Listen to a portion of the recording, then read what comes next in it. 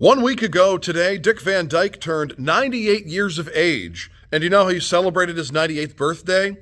He was at a dance class, probably teaching people or even outdoing, outdancing the room of people he's 50 years older than.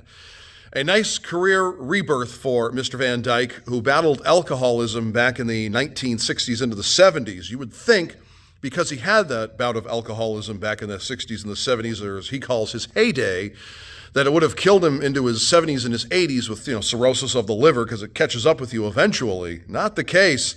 98 years young and still works out three to four times a week. Now, if you go on this, uh, if you go on YouTube, well, you're on YouTube right now, but if you go on CBS this morning, he uh, had an intense workout session. He was showing the people of CBS this morning what he did for an intense workout for mainly abs and back when he was uh, 96 back in 2021. He's still doing that today at the age of 98. Dick Van Dyke, still going strong at the age of 98. Can he get to 100? I sure, I sure hope so.